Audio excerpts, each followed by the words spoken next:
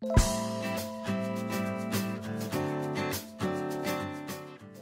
รุปอย่าจริงหรือว่าเป็นแค่คอนเทนต์นิวเคลียร์หันษา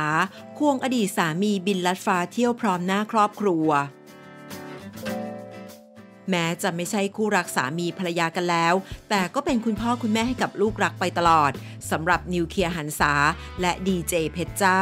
โดยเราจะเห็นว่าทั้งคู่อยู่บ้านเดียวกันเหมือนเดิม และมีโมเมนต์ครอบครัวน่ารักอยู่ด้วยกันเรื่อยๆ ผ่านทางอินสตาแกรมส่วนตัวของทั้งคู่ อย่างล่าสุดทั้ง 3 คนได้พากันไปเที่ยวพักผ่อนหย่อนใจกันที่ประเทศญี่ปุ่น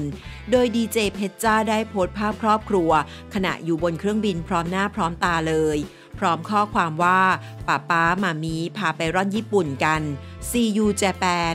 งานนี้เพื่อนพี่น้องในวงการบันเทิงและแฟนคลับ ต่างกดไลค์และคอมเมนต์ชมความน่ารัก และแน่นอนค่ะว่า เชียร์กันสนัน่น อยากเห็นทั้งคู่กลับมาในฐานะสามีภรรยาอีกครั้ง และล่าสุดก็เป็นโมเมนต์ที่น่ารักและอบอุ่นมาก กับภาพที่นิวเคลียร์หันษา และดีเจเพชรจ้า พร้อมลูกชายหัวแก้วหัวแหวน น้องไทก้า ไปเที่ยวพักผ่อนหย่อนใจกันที่ประเทศญี่ปุ่นแต่หลายคนก็สงสัยว่าทำไมตอนนี้เห็นแต่น้องไทก้าอยู่กับแม่นิว แล้วพ่อเพชรจ้าไปไหน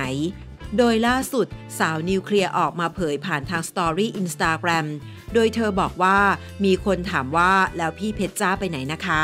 คือเราแบ่งวันกัน 3 คืนแรกนอนกับนิว อีก 3 วันนอนกับพี่เพชร ส่วนระหว่างวันพี่เพชรก็จะมาเจอมาเล่นกับไทก้า ในระหว่างนั้นนิวก็ไปเล่นกับไทก้าได้เช่นกัน พี่เพชรไปซ่า 3 วันแรก แล้วเดี๋ยวเราค่อยไปซ่า 3 วันหลัง